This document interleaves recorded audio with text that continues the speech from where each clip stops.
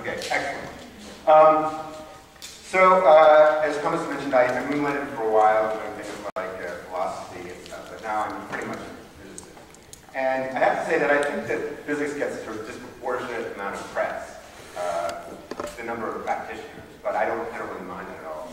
Um, although I think we sort of a milestone um, last month when not only did we make, make paper record, but we, we got to be the, the top story, front page physics.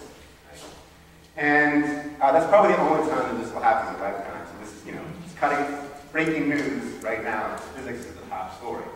Um, so just zooming on on this, it says, physicists find elusive particles seen as key to universe. And uh, here's a bunch of physicists, and they're all celebrating. Um, uh, this guy right here, he's doing a fist bump. He doesn't actually have the particle in his hand. Uh, so this is celebrating. And so I was thinking about this language about the sort of language and the images, right? So somebody has to write this headline, and then somebody has to come up with an image with this news story, right? And there's something really weird about the mix of headline and image here, right? So the headline says, physicists find elusive particles seen as the universe, right? And the question is, what image do you put there? Well, supposing the headline had been, physicists find elusive parrot seen as universe. What picture do you want to see here? You want to see the parrot, right? Okay, I'll show you the parrot. So there So like, it's not the physicist of the universe, it's the, the particle, the parrot, is the key to the universe, right? That who cares what physicists look like? We want to see the key to the universe. I, just, I don't know if this parrot is the key to the universe, but it looks like a, this parrot looks like it knows things that I don't know. um, so it sort of strikes a larger question, which is, why don't they show you this particle or some picture of this particle, some visualization of what this particle is? That's the key, right? No one look at the physicists. Uh, and this hints at a sort of larger problem that we seem to have in physics, which people think is this really abstract, arcane thing which they can't understand. And you heard it in Thomas's introduction. He's like, here's, you know, the title to my dissertation, and he works on this, and I don't really understand it. But that shouldn't be what physics is, right? I mean, so think about um, when you were first learning language, right? How do you learn language? You pointed at objects, physical objects, right? You said, you know, mama, dada, bottle, stool, rock, right? That's when you started learning language. You had words for physical things. And later on, you learn slightly more abstract concepts. Bedtime, stop, no, things like that. And then even later, you probably learned really abstract concepts like uh, friendship, justice, love. These are really high concepts. But somehow, at this point in your life, all right, you have lived a couple of decades now, and the physical objects, which is where you started, if I say, okay, we're going to study physics, we're going to study like a rock or something like that, you say, oh, that's too, too abstract, right? Physics is, is almost math. Or if you said, well, you want to take a course on justice or a course on love, wouldn't say, oh, that's too abstract, I can't do. So why is it that the physical objects, things that were supposed to be the most intuitive things, the most concrete things, have now become the most abstract things? Why is it we can't, we don't have good visualizations for things which should be inherently just visualizable. They're right there before us. That's sort of the problem I want to address in my talk. Um, so, I mean, these are, these are the questions you want to know. You want to know why is the sky blue? Shine? Why the? Why are rocks hard? I have to say, I think uh, spring semester I'll be teaching a course, and we'll talk about rocks pretty much the whole time. And you, you can't take the course as a first year student. You have to take a bunch of intro courses, a bunch of math courses, a bunch of upper level courses, and then probably as a senior we'd like to take this course. But why is that the case that I'm talking about rocks that use all this abstract language? Okay. So, um, one, one issue in saying why I can represent the particle is that you can't see the particle, right? It's too small. Right? You have a certain limit in your visual.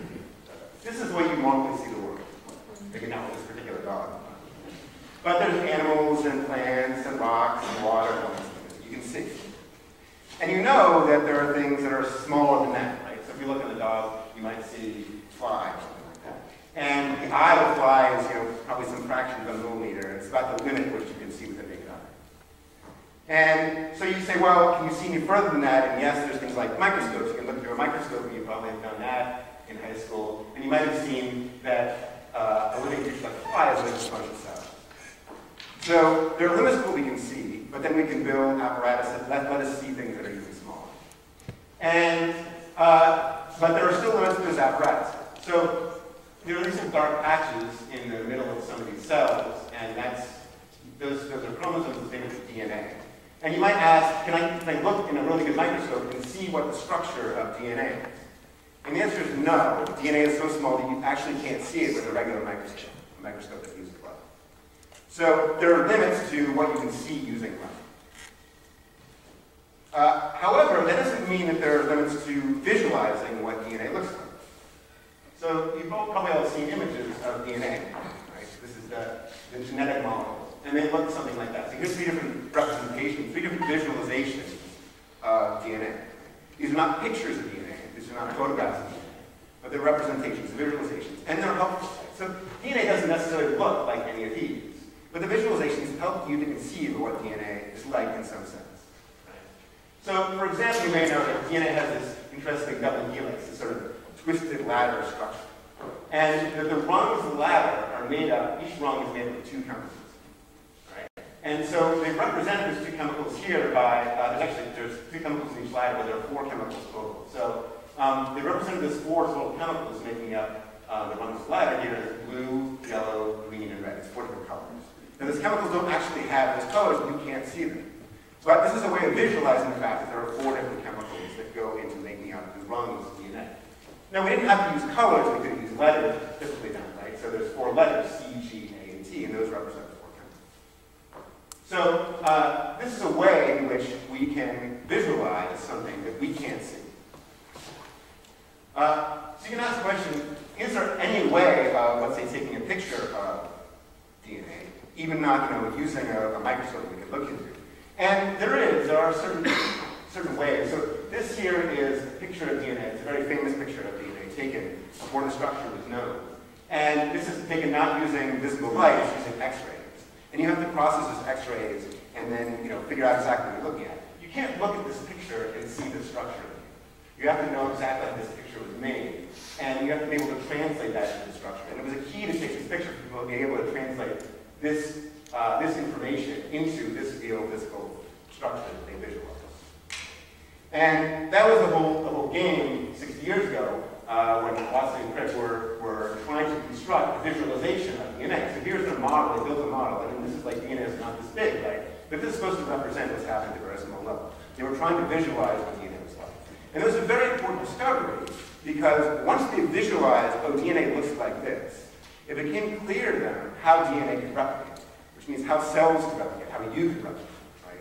The fact that you can take this ladder and you can unzip it and have half a rung on each side, and you can make copies of those.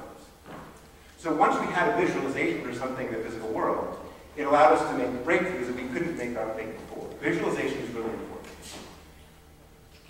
So um, this is 60 years ago. You might ask, well, are there better sort of microscopes which allow us to sort of visualize things that are even smaller?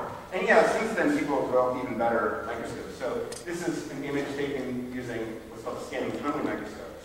And each of these balls here are actually atoms. These are silicon atoms. So um, the atoms, I say, are not, these are sort of a, yellowish orange hue. They're not actually that color. These individual atoms don't have color. They just rendered the image this way. They had to put some color on the image. The individual atoms don't have colors. But this visualization allows us to picture the atoms in some sense, in some important way, right? It lets you know that these atoms are arranged in some kind of pattern. It lets us know that things are discrete at this very small scale. So um, that's a that's sort of cutting edge microscopy of how, how one can see.